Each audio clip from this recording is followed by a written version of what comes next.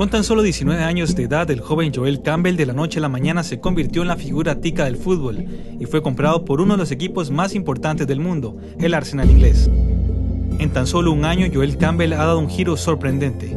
Primero Ricardo Lavolpe lo empujó hacia la fama futbolera con una famosa frase, si tuviera plata, lo compraría yo.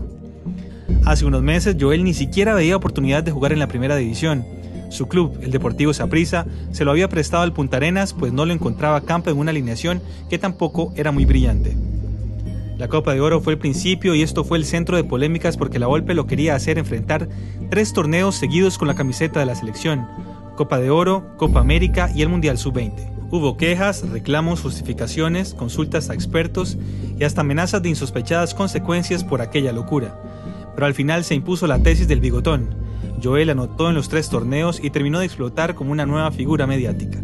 Campbell, que jugó muy poco en el campeonato nacional, fue contratado por el Arsenal de Inglaterra poco después del Mundial Sub-20. Al final, Joel no pudo jugar en la Liga Premier inglesa por falta de requisitos para adquirir el permiso de trabajo y fue prestado al Lorient de Francia.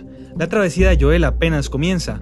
El 2011 es solo el año de su lanzamiento al estrellato. Ahora le falta confirmarse en el gran escenario al que sueñan llegar todos los futbolistas del tercer mundo, el fútbol europeo.